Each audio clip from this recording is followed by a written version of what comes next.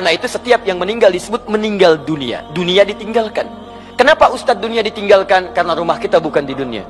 Lihat baik-baik. Hei kalian yang tinggal di bumi. Walakum fil ardi. Tempat kalian di bumi itu. Di dunia itu gak akan lama.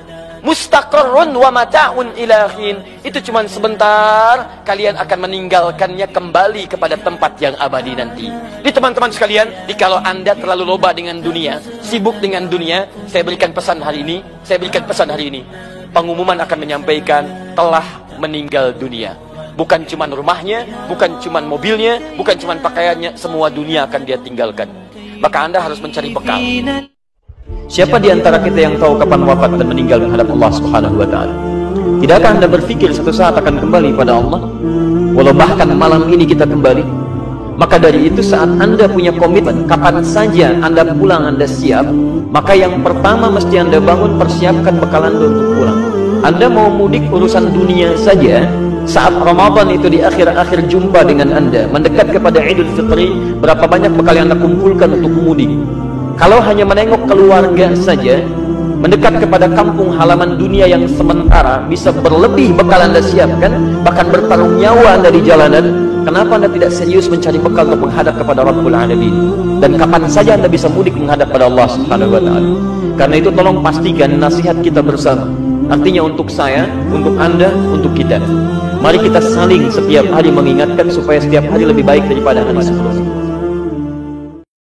Nuh alaihissalam bukan di surah Nuh dari ayat 10 sampai ayat 13-nya sering meminta umatnya untuk istighfar, tobat, tobat, tobat. Ketika tobat lihat ayatnya. Aku sering katakan pada umatku cepat istighfar, tobat, tobat, tobat. Karena Allah itu pasti akan menjemput orang tobat. Jikalau seseorang kembali kepada Allah itu ditunggu itu. Bahkan hadis kursinya jelas. Kamu datang merangkak, aku datang dengan berjalan, Jangan dibayangkan keadaannya. Maksud ini, ini kalimat mubalaghah untuk menunjukkan cepat. Di Allah itu paling cepat merespon orang tobat. Cepat, lebih daripada apa yang anda bayangkan.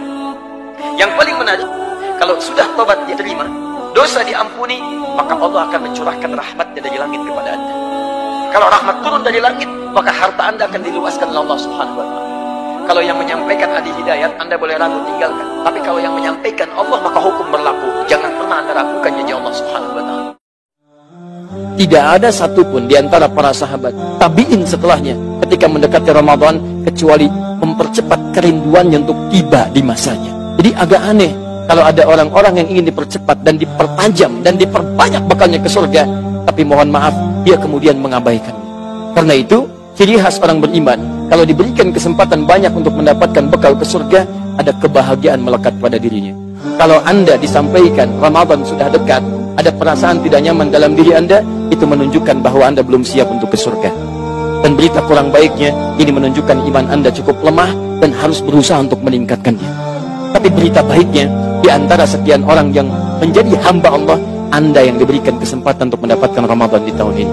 Kalau tahun ke belakang, maaf masih lemah juga, sebelumnya lemah juga, sekarang diberi kesempatan masih belum serius juga. Anda butuh berapa Ramadan lagi untuk Allah berikan kesempatan pada Anda untuk mendapati surga yang